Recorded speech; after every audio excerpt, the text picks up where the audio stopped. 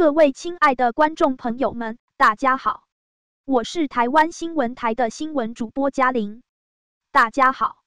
我告诉子女财产都捐出去了，往后没什么可以给子女们继承。台中宏恩医疗体系总院长吴子君医师长期关怀思觉失调症患者，十六年前以房地产贷款捐资成立财团法人宏恩社会福利慈善基金会，在彰化县方院乡买地新建慢性精神障碍病人住宿型疗养机构，免费提供食宿留住医护照顾人员。虽然家产几乎散尽，但他因力行悬壶济世的理想，日子过得踏实和快乐。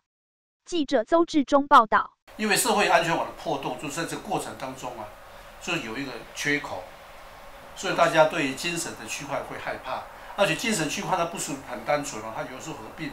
它有智障，所以多重障碍，在我们卫生部里面来讲是最难照顾的，这是我们在照顾。全目前全国大概是剩下十一家，大家都很难照顾，就一直退掉，做一些比较轻松的。啊，譬如日间照护啊，轻松的在做，我们几乎在做这个重的，做住宿型的。那这个这个在在目前来讲是收益非常低，做一床赔一床的一个一个行业，所以一直在很多这个在退掉，一直越来越。